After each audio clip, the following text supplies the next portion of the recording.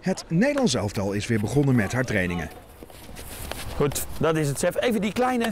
Met het WK volgend jaar juni in eigen land zijn de mannen gebrand op succes. Ja, heerlijk om nu weer begonnen te zijn. Ja, iedereen bij elkaar.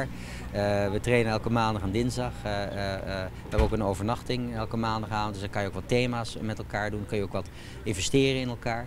Dus buiten alleen maar hockeyen met elkaar, ook sociaal.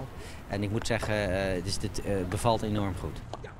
We zijn net begonnen. Dan zou je zeggen van ja, maar het WK is nog ver weg. dat klopt. Maar het is ook wel nodig om te beginnen met z'n allen. we hebben het voor de Olympische Spelen ook ervaren dat het goed is om, om dit jaar heel veel met elkaar te trainen. Zodat je als groep binnen en buiten het veld gewoon meer met elkaar gaat doen. Uh, en ook dichter naar elkaar toe gaat groeien. Nou, het houdt het in dat we nu eigenlijk twee keer per dag uh, aan het trainen zijn op maandag en dinsdag. Uh, van daaruit weer terug gaan naar de clubs, competitie spelen. En dat houden we vol tot aan december. Krijgen we een Hockey World League en een trip naar Zuid-Afrika als het goed is. En dan weer richting competitie en dan gaan we door richting het traject WK. En hoe dichter je bij het WK komt, hoe meer je natuurlijk met elkaar gaat trainen. Blijf, blijf, blijf, het, het support nodig, joh! Oh.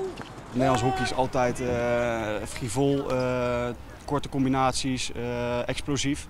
Uh, daar trainen we ook op. Als je kijkt naar de oefeningen die we vandaag ook hebben gedaan, is explosief. Uh, het gaat er volop. Ik denk dat het daar onze winst wel te halen is. in de duelkracht en dat soort dingen. Daar kunnen we allemaal mee te maken. In december gaan we op winterstage. En dan gaan we waarschijnlijk vijf wedstrijden spelen. Hopelijk. Het is nog niet helemaal rond. Dus ik kan nog niet zeggen waarheen. Maar ik hoop dat het rondkomt. dus dat is, dat is een fulltime programma. Intensief met elkaar. Want de club is dan voorbij. 30, de 29 e de laatste wedstrijd november. En vervolgens aansluitend, met de kerst zijn we heel even thuis, maar aansluitend gaan wij 2 januari al naar India. Waar wij de Hockey World League 4 gaan spelen van uh, eh, 8 tot, tot 20 is het geloof ik. Ehm, nou, en en, en ja, dat is een heel mooi toernooi, de beste acht van de wereld. komen daar bij elkaar en dat is natuurlijk voor alle, alle acht is dat natuurlijk een laatste test van hé, hey, waar staan we nou eigenlijk op het wereldtoneel. En daar willen wij zeker goed voor de dag komen. Waarom worden jullie wereldkampioen? Nou, we spelen in ieder geval thuis. Uh, de laatste keer dat Nederland de WK in eigen land speelde, wonnen ze hem. Dus daar ga ik me aan vasthouden.